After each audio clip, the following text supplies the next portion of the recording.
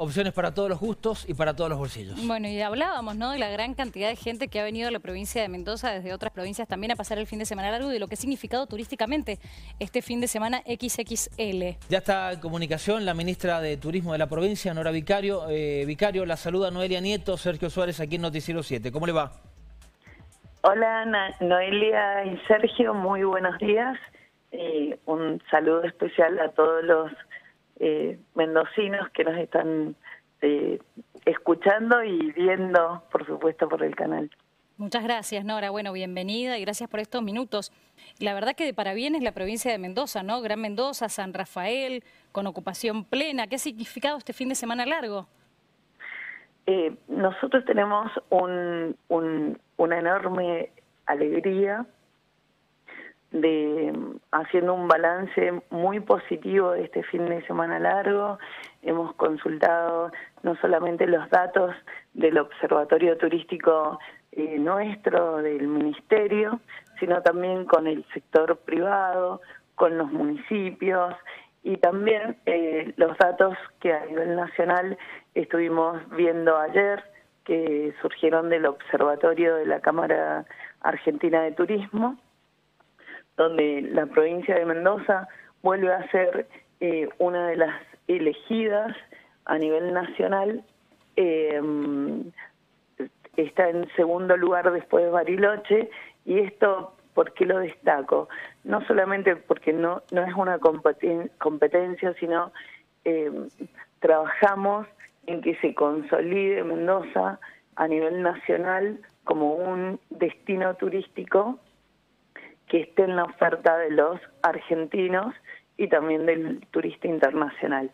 A nivel nacional, han, eh, históricamente los destinos tradicionales eh, están siendo superados por Mendoza como Iguazú, Ushuaia, Salta, Córdoba, y Mendoza está muy bien posicionada y esto se debe a que hay una oferta muy importante que es de hotelería, gastronomía, de, de eh, o sea, lugares turísticos eh, y sin duda tiene que ver también con la calidez del trato, la hospitalidad y la conectividad, que es uno de los grandes ejes para que el turista venga y que eh, tenga cómo llegar a la provincia. Ministra, esto es un anticipo de lo que puede llegar a ser una buena temporada, me refiero a parte de diciembre, enero, febrero, pensando en la Fiesta Nacional de la Vendimia, gente que no busca el mar, eh, de todas partes de la República Argentina, que se decida por todo lo que ofrece Mendoza, turismo aventura, vino, en fin.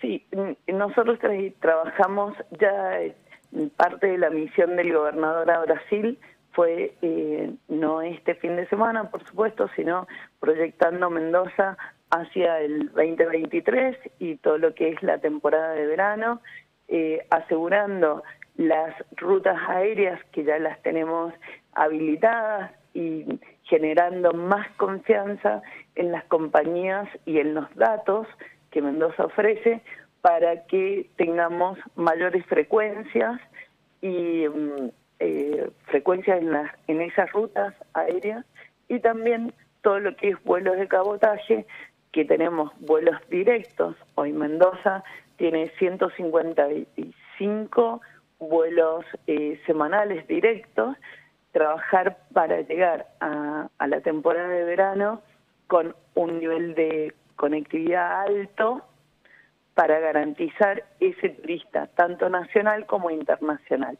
El internacional, sin duda, es el turista que nos eh, que nos interesa mucho en términos de economía, no porque porque nos interesen las divisas, sino porque las divisas nos pueden generar actividad económica, que es lo que necesitamos, eh, consolidar una actividad económica permanente que esté relacionada al turismo, porque genera actividad para otros rubros, ¿sí?